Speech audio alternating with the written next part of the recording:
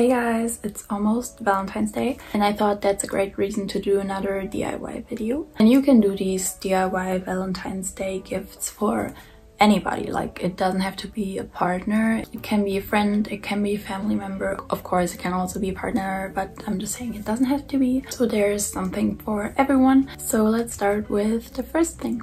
The first idea is from TikTok and it's this Will You Be My Valentine card and I really liked the idea. I thought it was super creative. You should definitely check out the creator on TikTok who came up with this idea because they have a lot of other DIY videos as well. By the way, I also upload a short version video of most of my DIYs that I post here on YouTube on TikTok as well. So if you're interested in seeing those videos as well, you can click the link in my bio. I saw this idea on Pinterest once and I thought it was so cute because like everybody likes pizza. You can invite your date over and then you can make heart-shaped pizza together. And maybe while making the pizza you can listen to a podcast or your favorite songs. And when the pizza is done you can watch a movie together. The next thing is something I saw on TikTok and um, I've never done that before but um, I thought it was a really cool idea. I don't know exactly how it works but I still wanted to put this in a video. I'm just gonna show you the TikTok. This one I'm never gonna stop talking about because I love it so much, but it's a customized vinyl record and you can put all of your songs on it. And then I made a track list on the back. And not only can you decorate the sleeve that it goes in, but you can also decorate the sticker on the actual vinyl.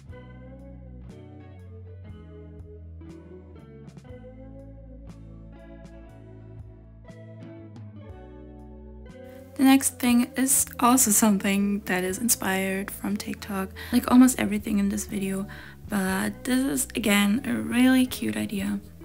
And it's also not that hard to make, but still a really creative gift. And like always, you don't have to do it exactly the way I do it in my videos. You can change the colors or the shapes and you can just get creative with it and make it in a way that looks good to you and matches your style.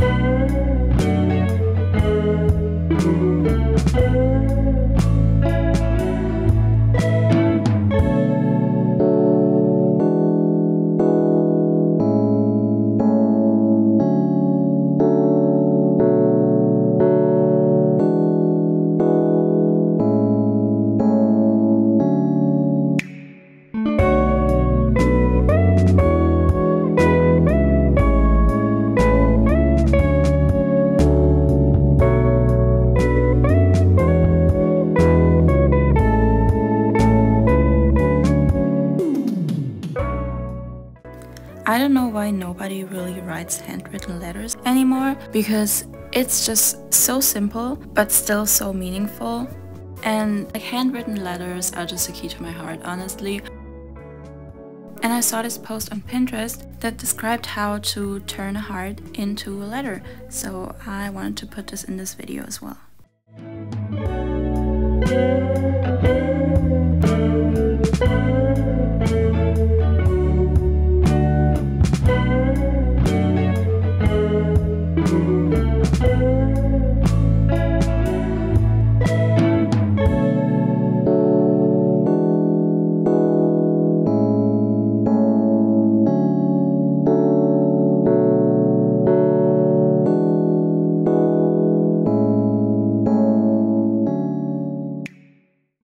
The next thing is similar to the pizza date and I thought it would be fun to make your own recipes or look for them on Pinterest and maybe bake some cookies or cupcakes together.